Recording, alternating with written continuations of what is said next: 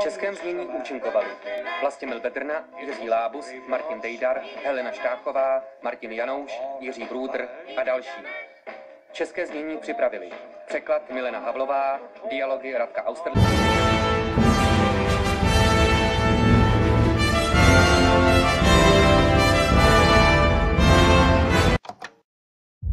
Thank you.